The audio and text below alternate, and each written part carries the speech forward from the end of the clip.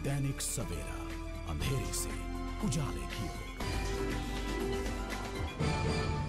Cantonment board के कार्यालय में रक्षा संपदा दिवस का आयोजन किया गया, जिसमें बोर्ड कर्मचारियों ने बोर्ड की कार्यप्रणाली के संबंध में अपने विचार रखे।